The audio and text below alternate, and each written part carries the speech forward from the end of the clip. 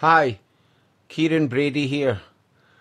I just wanted to extend my gratitude and my respect to all at the Sunderland Community Soup Kitchen. It's an incredible act of voluntary work and generosity from the people of Sunderland to help those who are most in need, particularly at this time of year. I could go on a significant rant about the fact that such benevolence should always coexist with anger that such establishments have to exist in one of the world's wealthiest countries, but I will do my best to refrain and would encourage everyone around the city to do what you can to aid and assist those who are afflicted with such economic hardship. My respect to all and I wish you all a very, very Merry Christmas and a peaceful and prosperous 2021. Thank you.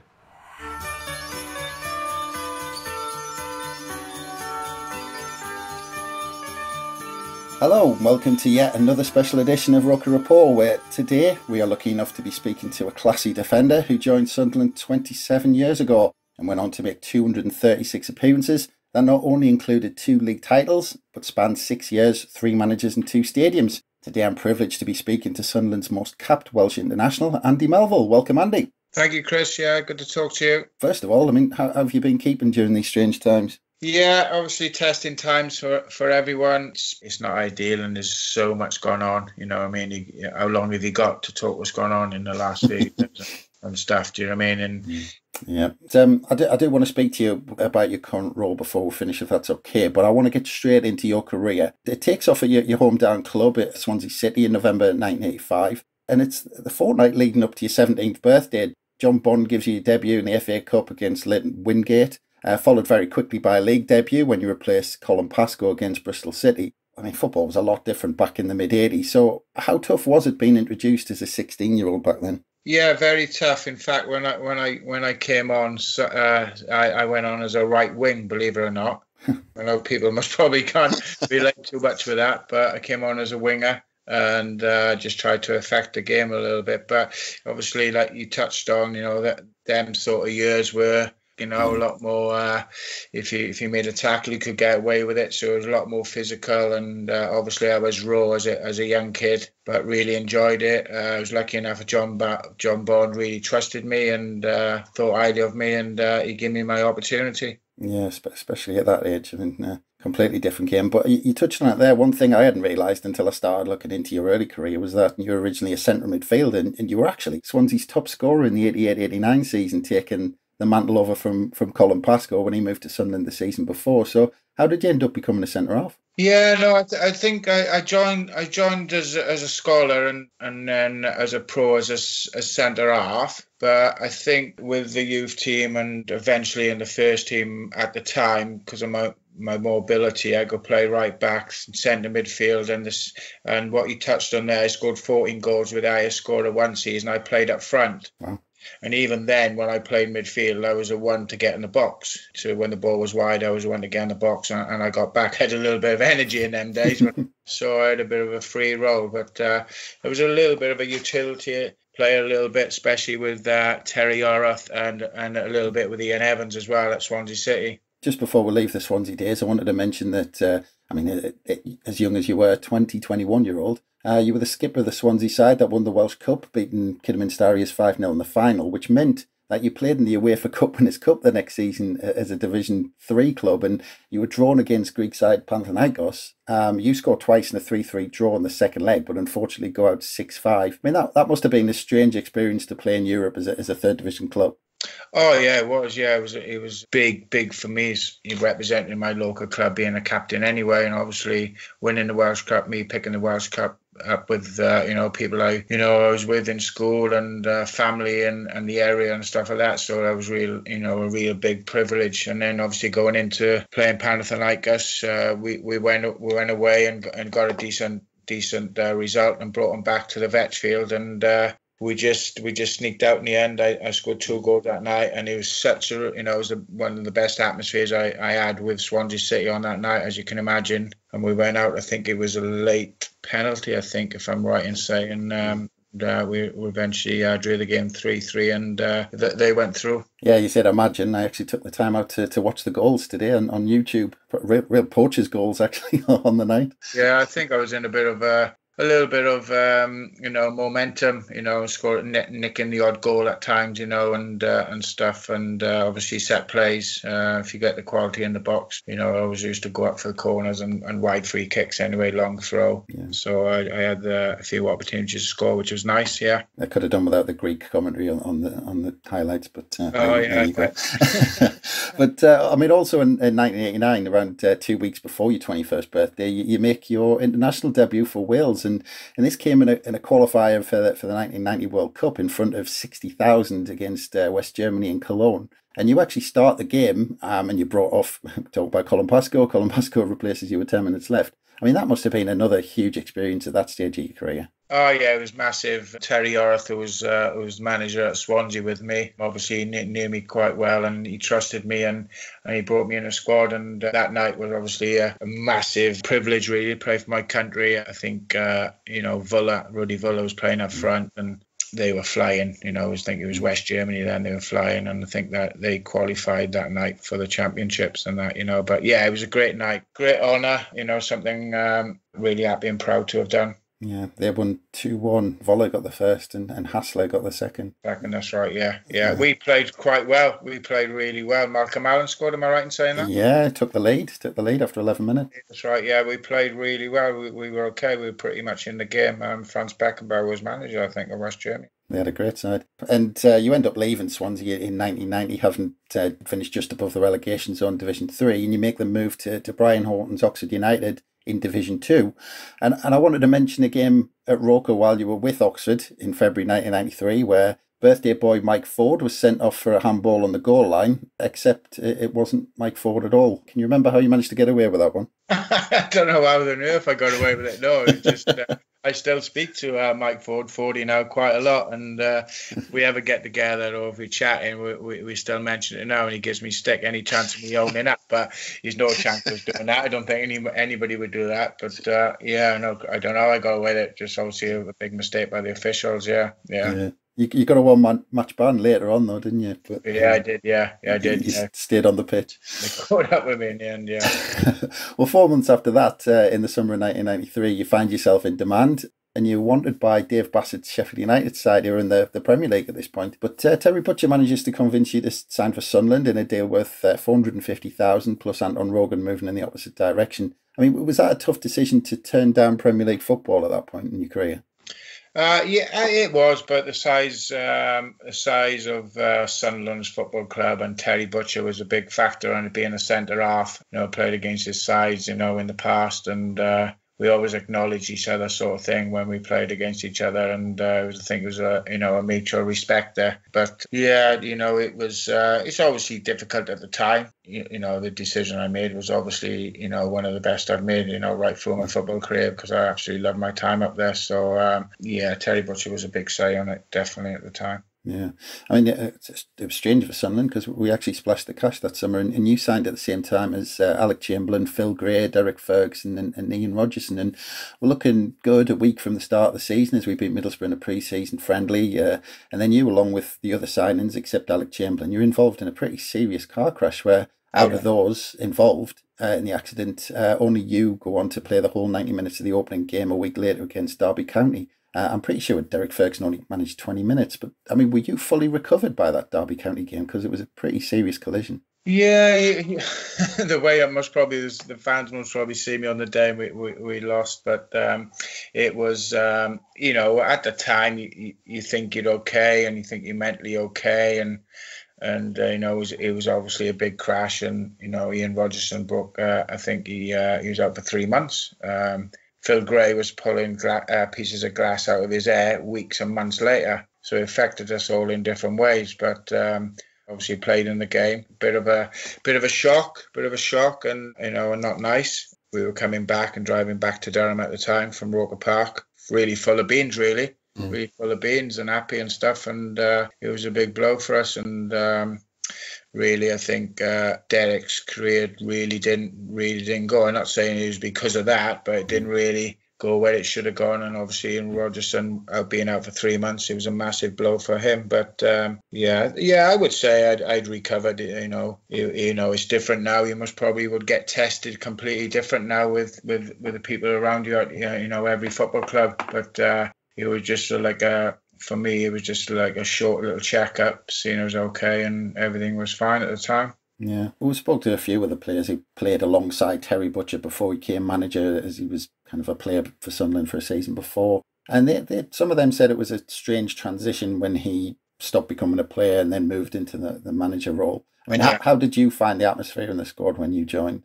Yeah, it, it, the atmosphere was good because you Gary Owers, you Richard Ord, Tony Norman, and all them boys were there. So they were a little bit, you know, the the, the old crowd, if you like. So they, they made it, they made us all welcome. But then obviously with them bringing you know a lot more sort of players in, sometimes it does take a while to knit together. And obviously it, it, it didn't really knit together at the time, but um, we eventually got there further down the line.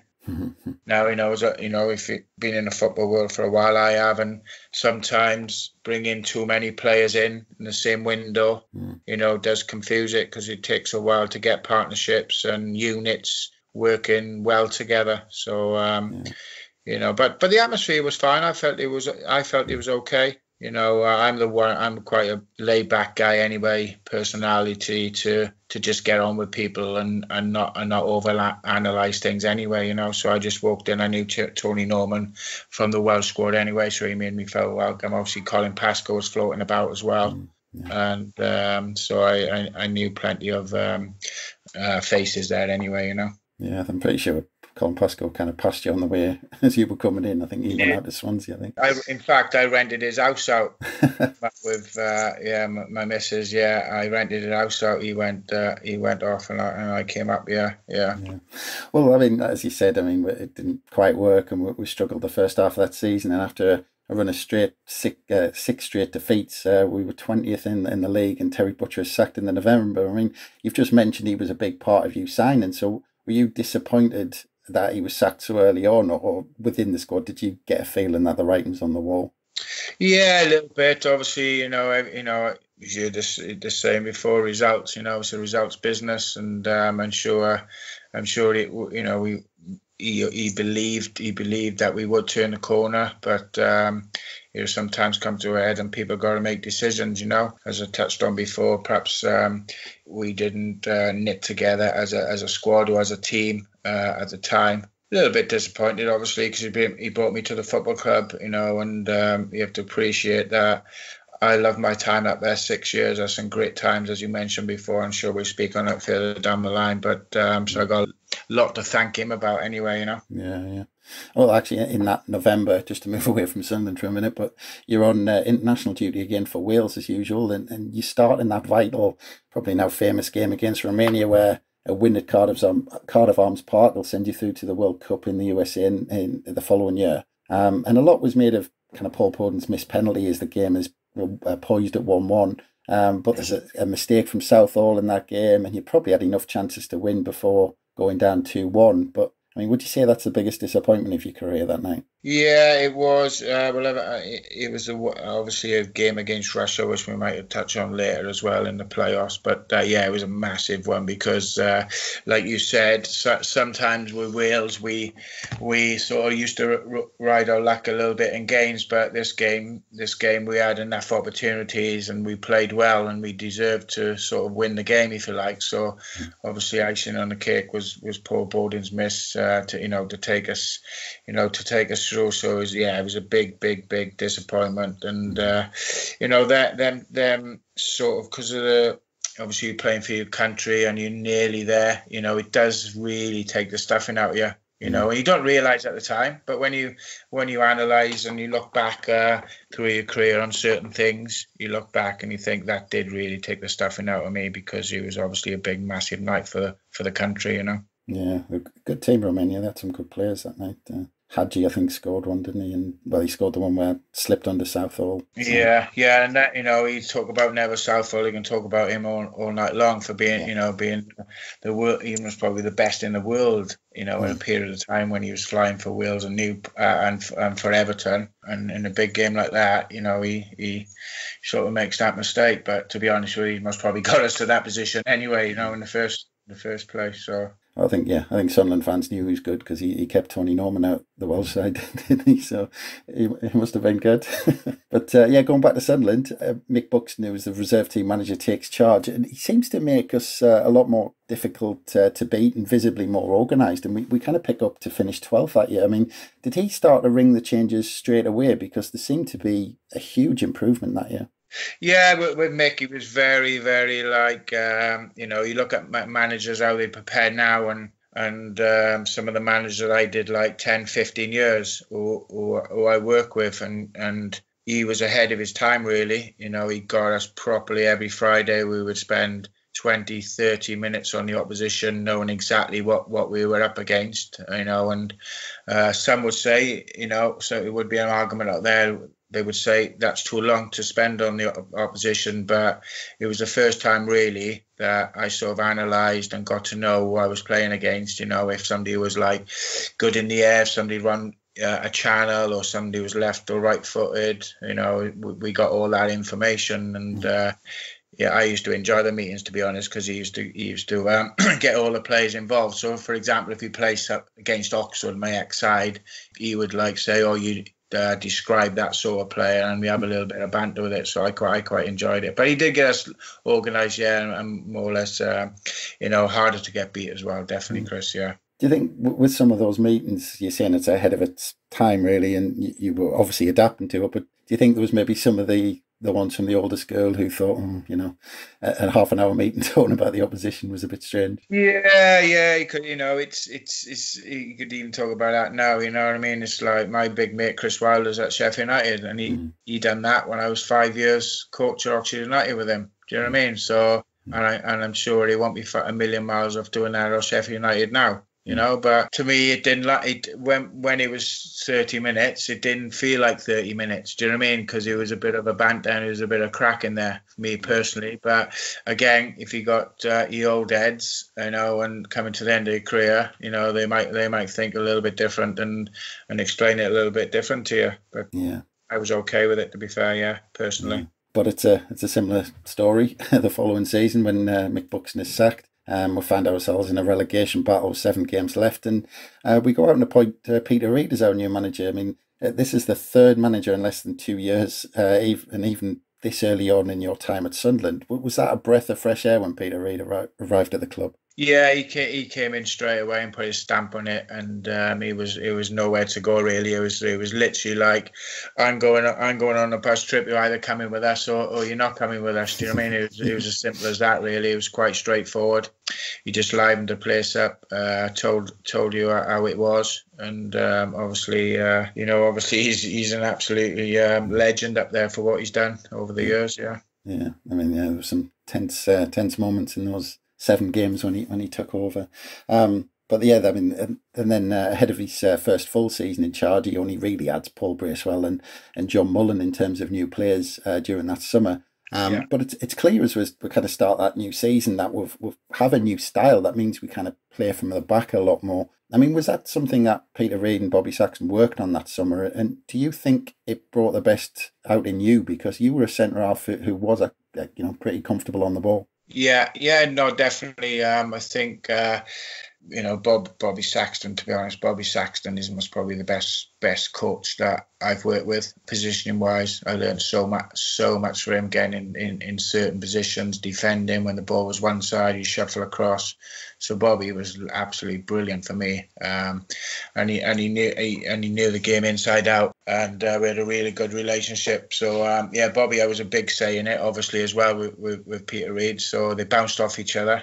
And, and that year we, we start to, to build momentum, especially around Christmas, uh, to go from relegation candidates the season before uh, to go on and, and quite incredibly win the title that season. I mean, how much of that league title was down to I mean, you mentioned it there a little bit, but the, the team spirit that Peter Reid, with the help of Bobby Saxton, had created. Yeah, massive. I, think the team spirit and the organisation and uh, you know the personality and grittiness really that season. More than more than when we when we won the title after that we um, we weren't scoring bags of goals. We rode our luck at certain times that season I would say. Um, you know um, nicking nicking results but I think for our, our literally hard work determination organization we deserved it. Because I don't am I right in saying we didn't really have a lot of points that season yeah, we had. Uh, it was one of those seasons. And we ground uh, ground the results out. We had, we had by far the best defensive record in the league. We only conceded ten at home all season.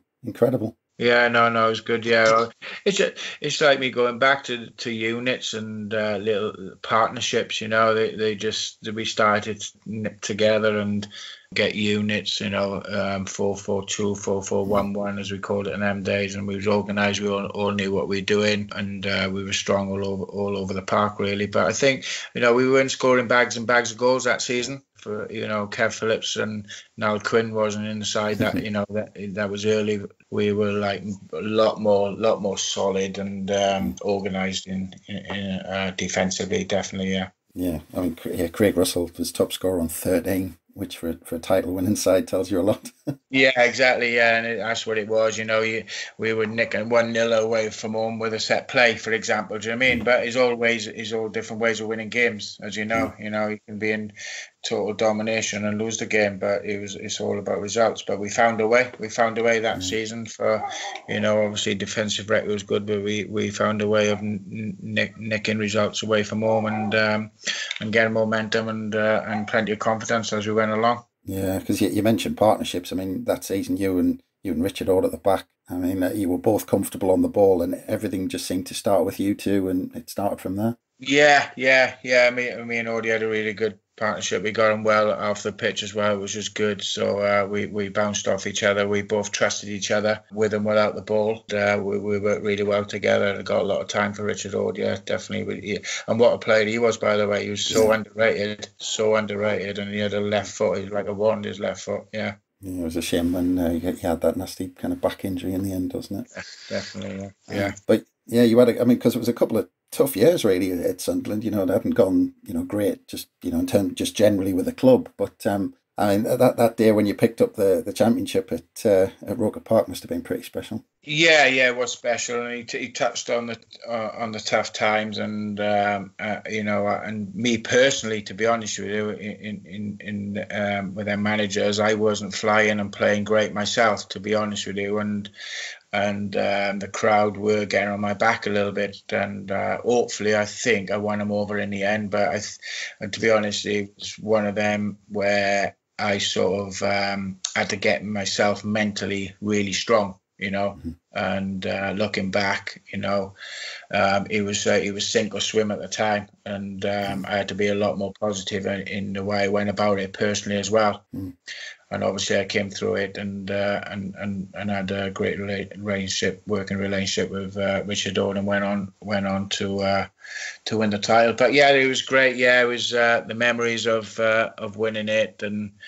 You know, is uh, you know the fans deserve it because they obviously had a you know a, ba- a few bad years, and um, it was great to to lift it for that for them people because um, you know, uh, I got a lot of time from they a little bit similar from my background uh, back in Swansea. You know, working class. You know, down to earth, humble people. So uh, I could relate to a lot of them as well. Yeah. Yeah, and and of course you're now Premier League player, and, and there's there's always talk of the jumping class when you make that step up. But but how did you find that step up, kind of 24 years ago? Yeah, no, I I I, I thought um, I I thought I sort of um, you know, went into it okay. Um, there's a lot of question marks over my pace, but what I touched on with, with Bobby Saxton positionally, he sorted that out for me, and and, that was a big help. So, um, so I always say that my somebody like myself, the way the attributes I got, you have to be one step ahead of the centre forward or, or the winger or the attacker. So um, you know, I thought that I was learning that through Bobby over the years, and uh, obviously I, played a few games by the time I got to, to the Premiership anyway, so I was pretty experienced, and uh, yeah, I, th- I, I thought I was okay, comfortable with it, but obviously, you know, pace wise, you know, you are, you are stepping up a gear, another another level or levels if you like with the top boys, but um, mm yeah, I thought I took to. I was just disappointed that um, I got injured um, and I missed the last ten games, and uh, I just look back and just you know wish I was involved because do believe, to be honest with you, I would have had a bit of an impact on it, and uh, we might have survived, you know.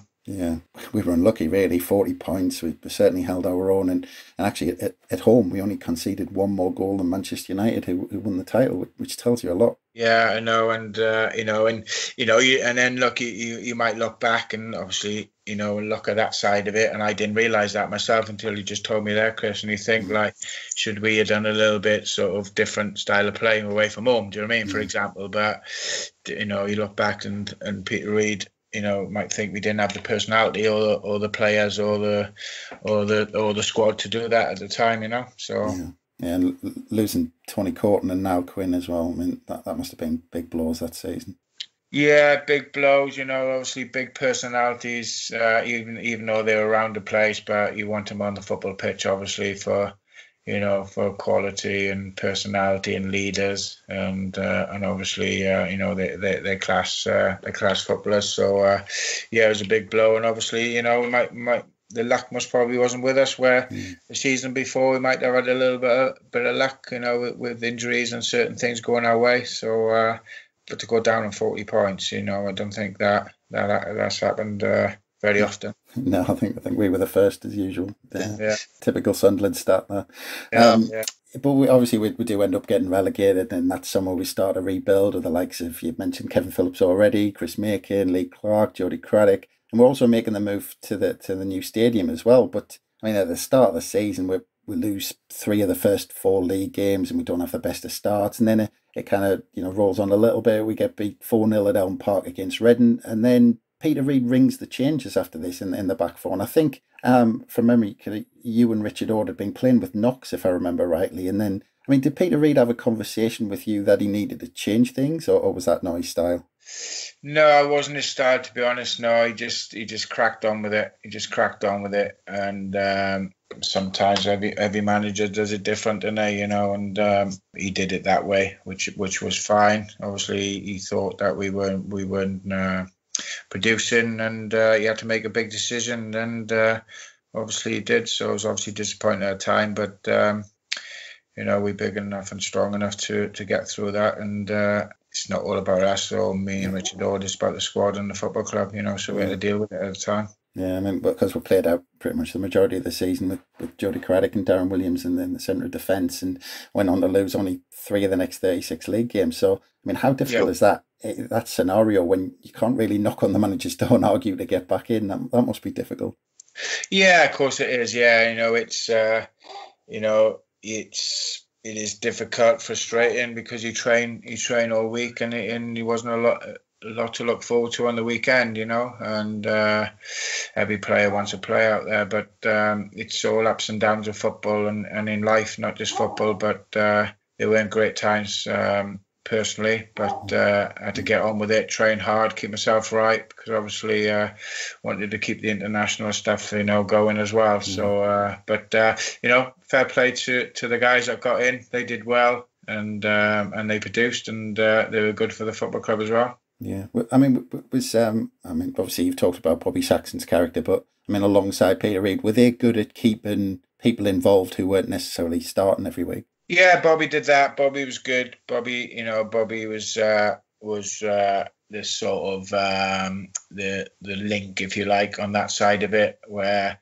I think sometimes um, managers need to dip in, dip out, you know, which which which I get, which I would do if I was ever a manager, but I wouldn't do it. But if I, I get it, completely get it, because they have to be there's they're at the top of the tree and you know I've been on the coaching staff, and I sometimes used to do that as a first team coach um, at Oxford United, where the manager would say, you know, sort of keep him happy for the for the next couple of weeks because I'm not going to play him, so you have to do the job right, sort of thing. I mean, so so I so I got it, and um, And uh, yeah, but it was it's still hard because you want to play football. But um, you know, Bobby helped us out and said, you know, just hang in there, work hard, and uh, your time will come again. You know. Yeah, and, and actually during that season, I mean, you, you end up moving to Bradford City on loan. Was that purely to get game time and match fitness, or, or were you actually considering that you might have to make a move? No, I, wasn't considering no making a move. To be honest with you, I just need to play football. Just need to go out and play mm. football, and obviously, I wasn't getting much of a look in, and it was just uh, just an opportunity. And sometimes, uh, well, I, I'm a big believer in if if a football club or if a manager comes to you and says there's a move here, would you fancy it? I think he's already more or less made your mind up, sort of thing. Do you know what I mean? So I think it was the right thing uh, for me to do it uh, at the time, uh, just to get some uh, minutes underneath my belt. Yeah. Yeah, and uh, well, we miss out on promotion through the playoffs, and, and we need to go again the following year. But uh, what what was your thinking that summer in terms of your, your future? Because we also added Paul Butler to the squad, and you were going into the last year of your contract as well. So, I mean, yeah. were you having thoughts that summer? Do you know what, Chris? I was I, I wasn't because I think it's different now. But I was I was contracted to the football club, and this would be any football club that I was at. Never ever asked for a move. Never never really moaned. Never literally would knock on uh, knock on somebody's door because. Mm. I would just literally get on with it. And sometimes I might have shot myself in the foot. Sometimes you have to give the manager and the coaches a little nudge, but I, I just respected the decision and just got on with it. But that summer, to be honest with you, that summer, the hardest I've ever worked. And when I come back for pre-season, it's probably the fittest I've ever been. Yeah. I just thought I took everything personal out of it because sometimes you can get personal with uh, with uh, managers, and I just thought, what can I affect? And I got myself fitter, stronger, mentally, physically, whatever you want to call it. Come back, walk through the door. I was up for it. I was up for mm. a battle. Did any of what happened the season before? Because obviously, I mean, the, that the momentum during that, that season before when you weren't getting in, in the team. But I mean, the, the stadium was bouncing, the football we were playing was, was superb. I mean, did, there was that motivation as well to get back in? You yeah. part of that. You know, the atmosphere, you know, the stadium light when it's full and it's buzzing up and running and everything's going well is no better place to be. Mm. You know, in, in my world, you know, yeah, you you supporters were turning up in their numbers, and it was a buzz around the place, and uh, it was uh, it was good to see. I was sort of part of it, but I wanted to be more part of it. So it was a uh, it was a motivation for me. It was a motivation for me as well, and obviously um, I got through it. I got through it and come out the other side again. You know. Yeah, because as we start that next season, I mean, you're not in the starting lineup against Queens Park Rangers on the opening day, but then you get your chance, uh, I think, through an injury to, to Jody Craddock, and you go on to form an incredible partnership with Paul Butler, where you both end up playing 44 of the 46 league games, and you actually play 52 games in all competitions that season as we broke all kinds of records, including finishing on 105 points. I mean, I imagine that team was just a joy to play in. Uh, it's like it's something that I've been involved in two sides, one at Fulham and, and one at Sunderland, where you just like he looked around in that changing room and he's just so much quality, class, personality, and you just think his goals in the side, he was character in the side was all we was organized you know we had everything covered we had everything covered. And you mentioned that you know playing out from the back. Mm. we just had an unbelievable outlet. We just had an unbelievable outlet. If we were ever in trouble we a diagonal up to Quinny. And he, mm. everybody knows what Niall Quinn's all about you know. He's just like nobody can get around him. He was bringing down his chest. He was flicking in for Kevin. And their partnership was ridiculous. You know they had something. And the fine details that they used to say to each other. And they simple, fine details, but the stuff they were doing, they just knew where he was going to edit, knew knew whatever you, you know where they were running. They were just special. They were just mm. special. Yeah, yeah. Yeah. I mean, I mentioned. Uh, I mean, you played forty four games, but actually there was only Tommy Sorensen who who played more league games than, than you and Paul Butler. And then after that, it was Kevin Ball. So, I mean, obviously, there's a lot of emphasis on the attacking players during that season. And I mean, that was great to watch as a fan. But the partnership, as we, mentioned with you and Paul Butler that season, was the foundation that everything was built on. And I think the way we played again suited the, you know, how comfortable you were in possession. And you seemed to be that point person, maybe more than maybe more than Paul Butler. You, you had your defined roles. I mean, did you work on that, or did that just come naturally? Yeah, it comes natural. I think um, you know you, you can work on it in training and you can talk about it, but the bottom line is you need to go out there and play and experience it together, sort of thing. And we we knitted together quite nice. We got on really well. So I was similar relationship off the pitch with uh, Richard Orders with Butts. Um, we really got on well, and uh, as a partnership, we good. We rubbed off on each other. We used to help each other. We give each other information. If a if a centre forward was quick and used to run in behind, we would let each other know. It wasn't an individual relationship. It wasn't one of them. I just going to go in a team and just get on with it. You know, we worked hard together as a pair and obviously as a as a as a unit as well with the back four. But um, yeah, it, it, it obviously after the the summer I had, the mentality I come back stronger. It was just I was so positive in myself in what I was doing. You know, I was gonna I was giving myself every single opportunity when I came on for Jody Craddock, and obviously um, I played all them games, which is like an unbelievable experience for me personally. Yeah. And I also wanted to mention that season because we were we were pretty close. We um we got to the League Cup semi final against Leicester. Yeah. With how you know that we were playing that year because we were flying. I mean, that must have actually been a disappointment that we didn't make the final that season. It was, yeah. I think we were so so much full of confidence and momentum. It was we fancied ourselves. We we was absolutely gutted. We was absolutely gutted because I think uh, you know a little bit inside we thought we were going to do it. You know, so mm. yeah, really, really massive disappointment. I mean, we mentioned as well. I mean, all this was going on. You're absolutely flying. Club was flying, but we mentioned it's the last year of your contract. Were there any conversations throughout that season about signing a new contract or being offered a new contract? No, it wasn't. It wasn't. We just got on with it. And uh, and again, I'm I'm one of them. Again, it's it will be changing now because an agent will be knocking on the door asking for a new contract. But I just sort of got got on with it, and I've just focused on my football. And uh, I I've always you know, let that uh, let that take care of itself really. And uh, the talks weren't until until the summer. So they started talking to you when the summer came. Summer, yeah, after the season finished, yeah, yeah, yeah. Uh, I think was it a one year deal you were offered? Yeah, I was offered a one year deal. Yeah, yeah, yeah. yeah. It's just, um, you know, I had six unbelievable years, mm. and it was just come to a point where I was thirty, mm. uh, and I had a, a young family, and um, the length of the contract wasn't appealing enough at the time, and I obviously had to keep my keep my options open. And did did any of that kind of take it, you know, the shine off uh, that title season, or? Uh, just just obviously disappointed because I wanted I, the bottom line. I did want to stay at the football club. Um, now it might that might sound a bit of a contradiction because I was offered I was I was offered a contract by the football club, but again you have to look at the, the the package of it, the package of it, where I just thought that I was fit, still strong enough. I wasn't deteriorating. I was going, I, I thought mentally, physically, I was going on for, you know, strength to strength. And um, some when they get to 29, 30, 31, they sort of start losing certain things where I mm-hmm. think I was um, gaining things and uh, and getting advantage on people because just because of my work ethic um, and uh, the way the way I looked after myself. So um, yeah, I was obviously disappointed to go, but one one in the end, I thought I had to make. Mm.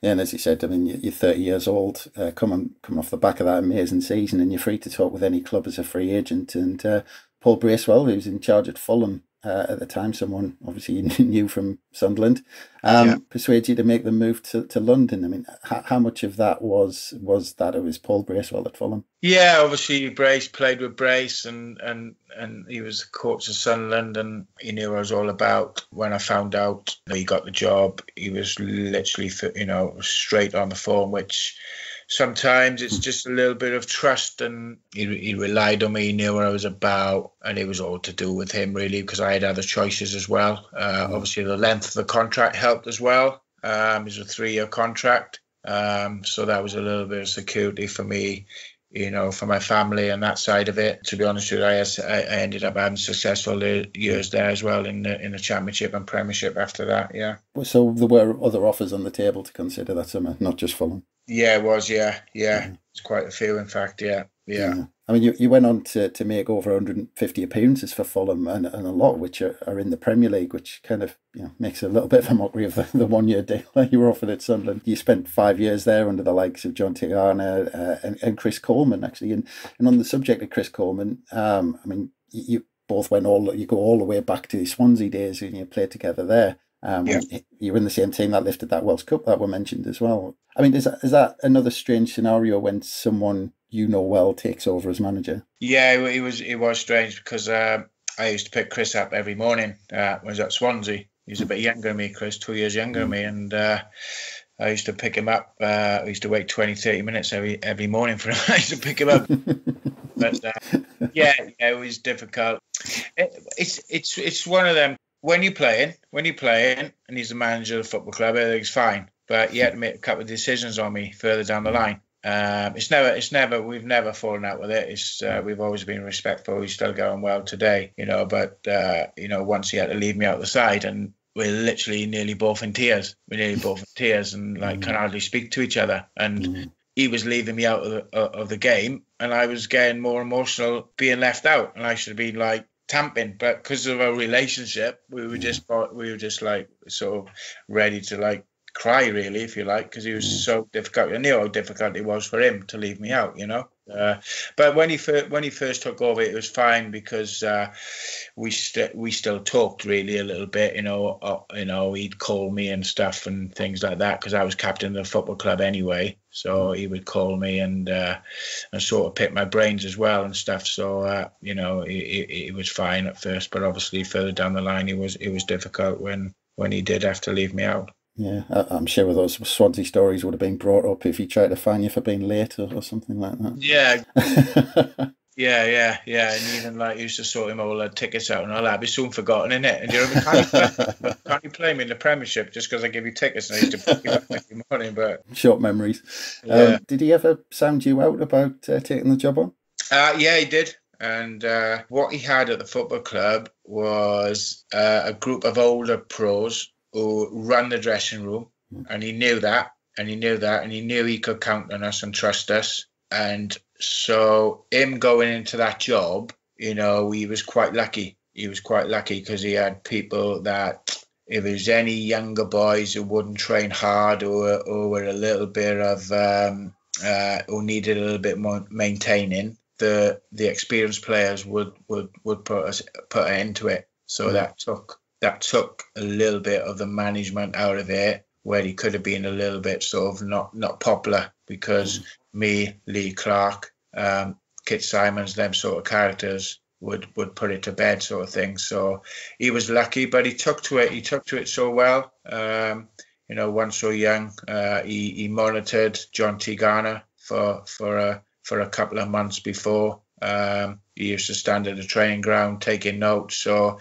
he was really like a student of the game as soon as he got into it, really. Yeah. Were you ever in a position to, to give him any advice on whether or not to, to go to Sunderland? No, do you know what? He didn't. He didn't ring me. He didn't ring me, and I was. I seen it. I tell you what. I, I seen it on Sky Sports, and uh, and I messaged him the time. The time that I seen it, I messaged him. I said, "There's no. Is no. And there's no word of lie. I said, "There's no better place there's no better place in football.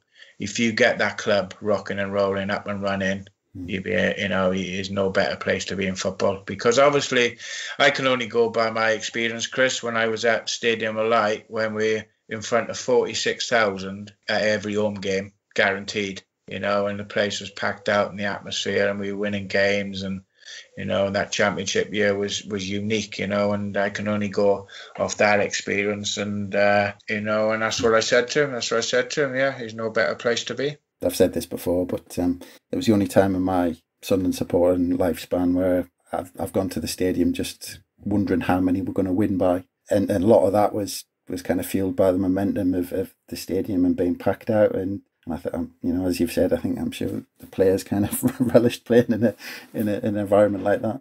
Oh yeah, he was um, like I think I touched on it when I, I don't think I um, I gave you too much detail, but I think we lost three games that championship year when we went up the second time. Peter Reid. Mm. I think it was three games that we lost, but it was just one of those when right. you're having a pre-match meal, or if you're or if you're getting ready at home in the mornings, you just had the feeling that three points today. It was it was like it was a bit weird. You just thought like yeah, we'd be all right today, we get three points. Do you know what I mean? He was but you obviously had to work hard and do the tactics and do this and do that. It was loads of stuff that you had to do, but you just had that feeling. Well, I had that feeling in myself, and I'm sure that the other lads had the same because we had so much quality and and determinations and character wise, uh, you know, in the squad and in the team. You finished your career with spells uh, with West Ham United, Nottingham Forest before you retired in 2005. Was that a conscious decision at that point to stop, or, or you know, rather than drop down the leagues, or did you have any injuries at that point? Yeah, to, I when I went to West Ham, it, it just didn't um,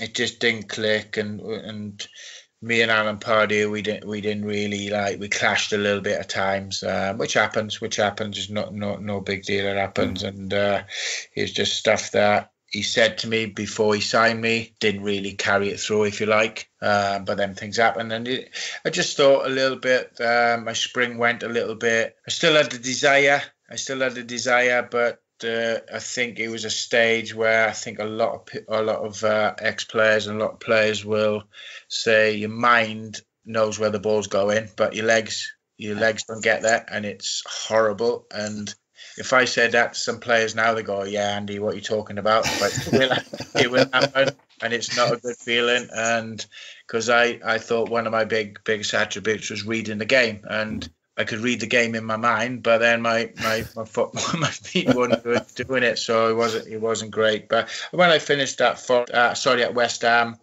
I sort of had a had a couple of chats with Oxford United, a couple of chats with uh, with Wycombe, but they just didn't materialise on both sides really. Yeah, and and you make the transition uh, into becoming a coach, and you become first team coach, and, and then assistant manager to Chris Wilder, which you touched on at, at Oxford United. I mean I've, I've seen one or two players talk about some of Chris Wilder's early managerial positions, about how detailed he was, whatever level he managed at. I mean, is that how you find him when, when you're at Oxford? Yeah, he was so organised uh, in everything he did, and uh, it was good for me to see. It was good for me to see and observe. And obviously, I uh, don't know everything in football and experience different things, and I know quite a lot. But the stuff that he did was different. Stuff that the information that he gave the players. They knew what they were doing with the ball, without the ball. They knew everything about the opposition. They knew what environment environment they were going into. So he just prepared them mentally um, as well. You know, in in in everything really. So he was very very thorough. But then you actually make a move into more of the recruitment side and you're appointed into roles of either recruitment scout or head of recruitment at Birmingham City, Blackpool, Portsmouth, and then back with Chris Wilder at North, Northampton Town. Um, and you're now a consultant with Red Six Sports Management. So, so what does that role involve? Football agent, really. To be honest with you, we're Red Six Sports Management. We're we're um, not one of the um, the the big boys, but we sort of in the second tier, if you like, of uh, mm-hmm of agencies. Uh, we're well run, very well structured. We've got uh, we have got Championship and League One players in there. Um, we've got a lot of uh, Welsh uh, internationals, Welsh internationals, England internationals. So um, we got a lot of potential um, further down the line. So we we going really good in the right direction, and uh, very excited about it. I've really really enjoyed it. I think I can affect uh, players because, like you mentioned, I've had all roles at the football club, playing, coaching recruitment, so I can relate to a lot of things, i.e., recruitment meetings, um, managers, assistant managers, first team coach when they're having meetings when they're picking a side. So um, and getting and getting players prepared for that side of it. Um, obviously, done a lot of uh, lot of deals with when I was at Northampton Town for two and a half years as head of recruitment. I used to uh, me and the chief executive executive was uh, in charge of the budget so I knew what players were earning and what they were on, and part of the big uh, the deal. So I was very, very sort of um, right into it. Um, I used to take the deal to about ninety percent, and then the chief executive used to take over with with, with the agent in then days. But uh, but uh, yeah, so I think I got uh, all different roles and experience to to to add to to each player that I manage. Yeah, in the company. recent events had any impact, or have you been able to get through um, with the technology? Yeah, it's been challenging and it's been unique. Obviously, what's you know what's what's happened. So that's it's been difficult to advise players because you haven't experienced this side of it as well. But obviously, being in the game for 34 years, you just try and um, just just let them know what what experience you've had or close to to experience you've had in the past, but never never experienced this this sort of uh, mm. stuff ever, really. yeah, I um, don't think anybody else. But um, do you get a chance to visit this stadium a lot in your current role, or or even for a non-work related trip? No, I haven't been to a game in mm. Stadium of Light since since since I left. To be honest, no, I've been up I've been up to the training ground a couple of times. Um, yeah, to uh, to see Kevin Ball and uh, to watch a couple of uh, under twenty three games. Mm. But uh, I haven't been back to the Stadium of Light to be honest for for a game. But I'd like to one day. Yeah, it'd be nice to go back. Um, I'm threatening to. Um, I will go back one day. Hopefully, hopefully it's going to be in uh, one of the top two divisions. That's where that's where I'm. Uh, that's where I'm hoping. You know, someone who played well over 200 games, won two league championships, saw us move to a new stadium. I mean, uh, you know, what are your feelings about our current position?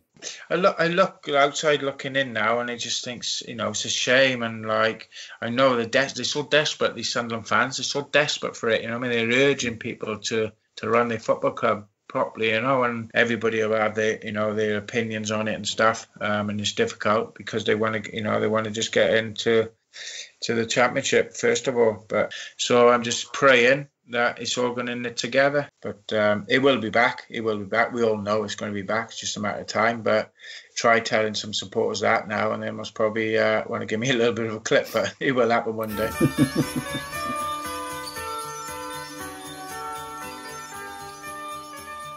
Hello, this is former Sunderland player Danny Collins here. This Christmas, we are asking you, the Sunderland fans, to help raise funds for Sunderland Community Soup Kitchen. It's a fantastic charity with the soul of the community at its heart, and they'll be working around the clock this Christmas to make sure hungry people in our city don't go without. You can be certain that your donation, no matter how large or small, will be put to good use to provide help for local people who are in desperate need of it. You can find the links in the description below. Thank you for any help you can give, and a Merry Christmas.